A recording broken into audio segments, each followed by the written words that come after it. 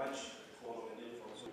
The number of victims of landmines um, as far as I've been briefed, um, are in the and also maybe the areas that you describe as dangerous ones, customer I do not think there are any areas um, where the uh, ability to vote is being seriously hampered by the, by the presence of mines. We have cleared the majority of major routes throughout Sudan, and the routes that we're now uh, operating on are what you might term secondary routes. So all the major lines of communication throughout Sudan have been cleared of mines and explosive remnants of war. What we got on the ground is, is related to remnants of the north-south war or, or the ongoing conflict? Thanks.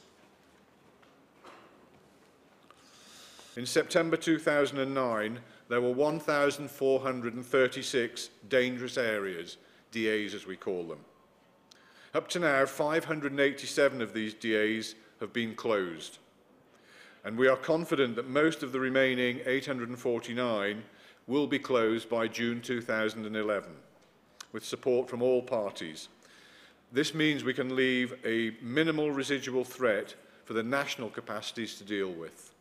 Consult my notes very quickly. We, we have a, a database On the ground is, is related to remnants of the north-south war or, or the ongoing conflict? we are confident that by mid 2011, we will have cleared the majority of hazards across Sudan.